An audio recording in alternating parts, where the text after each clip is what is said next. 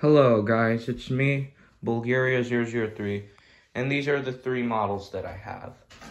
So this one, here in the middle, is the one I got yesterday from the airplane shop in Las Vegas. This one, I made a video about it a couple months ago. I got off of Amazon. This one I also got off of Amazon, but I forgot to make a video about it, so I'm really sorry about that. Um, but yeah, so here I'm going to talk about these three models. Already made a video about this one yesterday. This one is my least favorite because it has this problem like where it just at the most random times just does that. And like this piece in the back keeps on falling off. So I'm gonna have to fix that with glue. Oh, all right. And I'm gonna have to fix that with glue.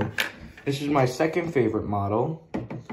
It's not my first favorite because my first favorite is obviously the C-17. Okay, I'm still trying to fix this Avrojet. You know what, it's fine. I'll fix it with glue later. But yeah, so this is my second favorite model. It looks really nice. Super realistic with the Boeing 707's features like the like this thing on the tail and the and the engines like these engines uh, look really interesting. Like the engines on the old planes like the old jet engines were re looked really interesting.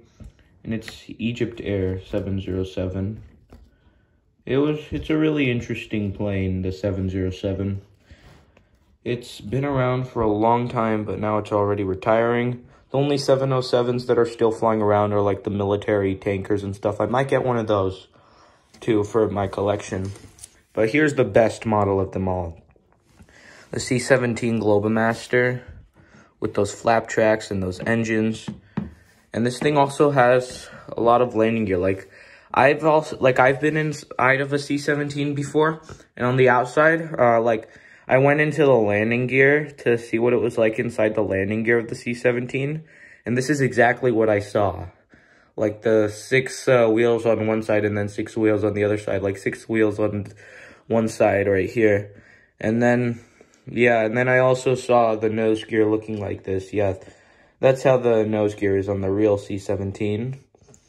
And then in the back, there, and then in the back, you know, when I went to the Long Beach Air Show where they had a C-17 on display, they had the rear door open, and then people were walking in through the rear door to get inside of the C-17.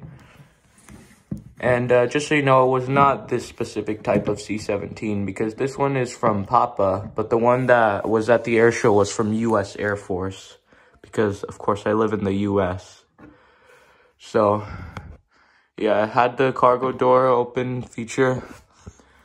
I could actually see stuff from back here, what's inside, but I don't think you guys could because well, yeah, it's um, it's quite dark in there on the camera, but I could see stuff in there in person, but all right.